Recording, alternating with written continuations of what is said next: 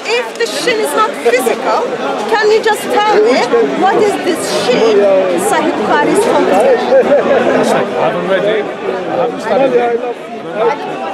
But he read all the Bible. So that is your first homework. That is your first Very, homework. very good. Very good. That is your first homework after all two months holiday. Okay?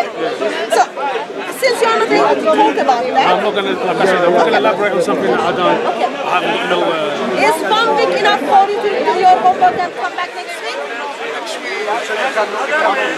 You can't take more holidays. Two months enough.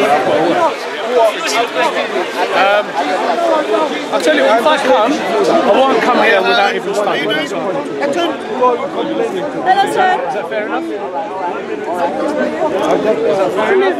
I won't, I won't come here until I look at it. No, no, I don't, I don't want to skip the speaker's one because you didn't look for the answer. But I want to give you your homework. You know, it's going to be my homework because I want to look at different, um, what do you call it, Sahih Bukhari or Tabari or, or someone else I need to ask Yeah. who's got Hatun, what's your point for the camera? What's your point? So, Sahih Bukhari talks about the shin of Allah to be physical, and then if you read the tafsir of the Ibn Kathir, it again talks shin of Allah to be physical. Yet you told me, in your current knowledge, it is not a physical. So that's your homework for to find out on the day of judgment what Muslims are gonna see as the Quran and the Sahih Bukhari and Ibn Kathir talks about the shin of Allah. That's your homework. Okay? So, can I ask my Because the second reason, oh, hold on, the reason I told you that is because, like I said, I gave you the verses, there's nothing like into Allah.